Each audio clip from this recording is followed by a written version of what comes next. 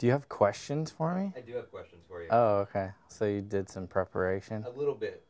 I tried. That's good. I was I wasn't sure. This song's called The Woodcutter, and it's about a guy who, who used to cut wood.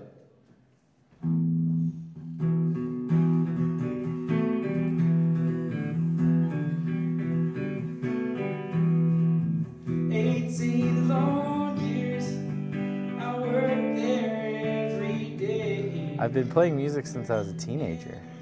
Like seriously. Just banging out Blink 182. Yeah.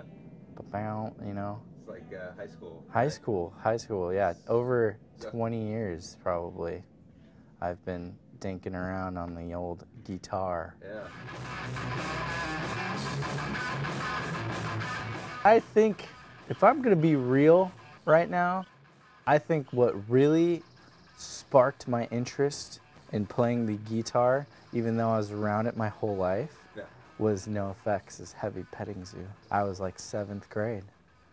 I slowly, towards the end of high school, moved to like singer songwriter stuff, namely Elliott Smith, and I, I, I think he's my biggest influence on my songwriting because I like worshipped him junior and senior year of high school, and then he died, and and uh, I went to college, and uh, his uh, "From a Basement on the Hill" came out. Yeah. And I think we listened to that like for a year straight, Yeah. at least Oh yeah. and uh, it's still one of my favorite albums. And it kind of takes me directly to whenever I listen to that, it I like go directly back to San Diego. Completely brings me to a a place mentally, which isn't like great, but it's awesome at the same time. I mean, it's like kind of sad and kind of amazing at the same time. Yeah. It's like everything all at Yeah. once. I love you more every day.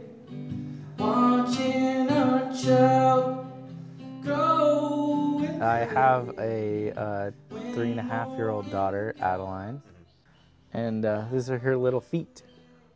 Oh, she adorable. printed on my uh, my cup that I've had since she was born. It says "I love you, Papa." That's how I imagine her saying it.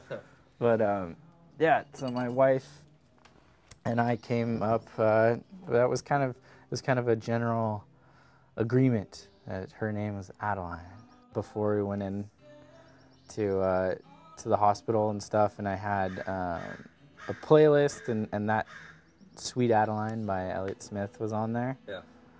And um, uh, I think we kind of made the decision, like in the hospital, that her name was going to be Adeline, or maybe it was even before So Elliott Smith is that big of an influence on your life that that I named my daughter after a song of his. Yeah, I think so. Honestly, I don't know. It's it's kind of wild.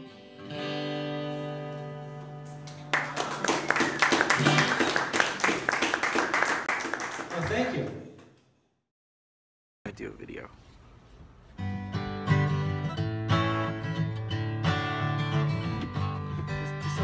Sun, Mr. Golden Sun, please shine down on me.